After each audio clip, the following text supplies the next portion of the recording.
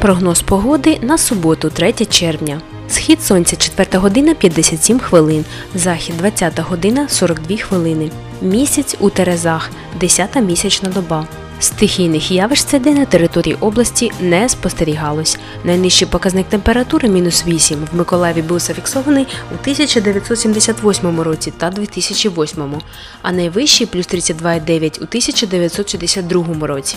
За повідомленням Українського гідрометеоцентру 3 червня 2017 року у Миколаєві та області увесь день утримається ясна погода, без опадів. Вітер північно-західний від 2 до 6 метрів за секунду.